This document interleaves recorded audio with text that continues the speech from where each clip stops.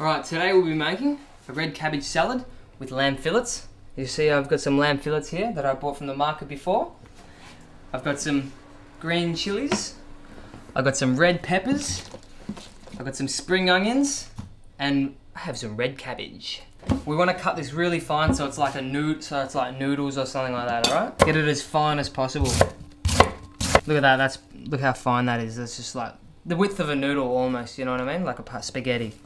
Next, we're gonna add these spring onions. I want to use about three for my meal. So I'm just gonna cut these really fine. I've got my three red capsicums here. I'm just gonna cut the top off here, down the middle, and cut out the little flaps of whiteness.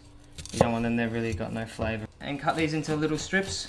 Oh, I can feel the juices coming out of this as I cut it. It's squirting me in the face. That's a good handful of red peppers. We've got our green chilies here. I'm going to show you how to prepare these. So going to cut the top off these, slide down the middle, break it open, rip out the insides, knock out all the seeds, because you don't want the seeds, they're the hot part in the chili. And then finally slice this on the angle so you get nice thin strips. With chili you don't want you don't want big chunks of it, you know. You just want to have like nice little slithers so you get oh you get a little bit of a flavor burst in through your meal, you know what I mean? Now I've got some nice fresh coriander here.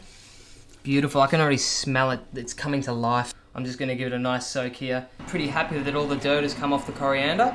So what I'm gonna do is just put that through a sieve. And there we have it. Nice fresh coriander.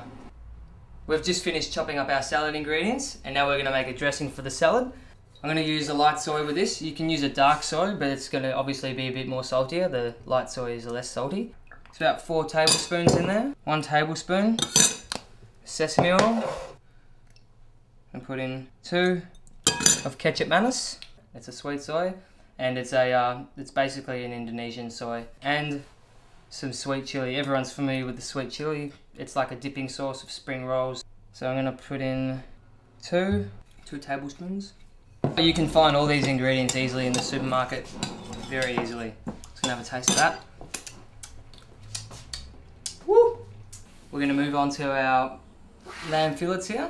I'm just gonna give them a quick season with some black pepper. If you don't have lamb fillets, you can just use a bit of chicken. I, recommend a bit of chicken if you don't have lamb, or you can use duck. Duck would go well with this as well. You can get some duck breasts. Now these are gonna take just a few minutes to cook. You don't wanna overcook them because they'll get real tough. Just want to cook them on a hot flame really quickly. Now, with the red cabbage, I just want to blanch this a bit so it's not so, it's like, it's a bit tough right now. I want to blanch it, give it a bit of a cook, and pour some hot water over it. Give it a bit of a squeeze. Chuck in our green chilies.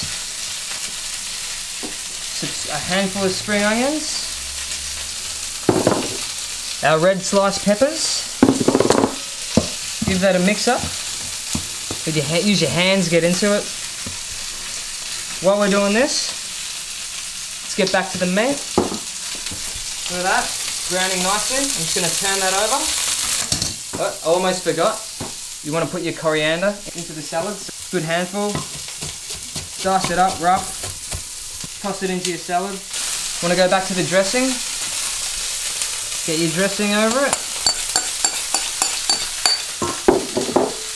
Give that a bit of a mix. Oh, the colours are beautiful, aren't they? Look at that. Look at those colours. To make sure we're going good. Mmm. Mmm. Salty, zingy, chili. Mmm, mmm. In a nice big bowl. Have my salad ready. My meat's still cooking. Now you don't want to overcook this as well, the lamb, like because the meat's very fresh. You can also oh, you can have this a bit bloody. The meat's ready. I'm just to take that off. It, let it rest for a minute. While we serve up our salad, give it one last mix. Use your hands for this part. Get a nice handful. Chuck it on the plate, center it. Cut that on a bit of an angle. Place the meat like a flower. A few more spring onions for a garnish. That's the red cabbage and lamb salad. Enjoy.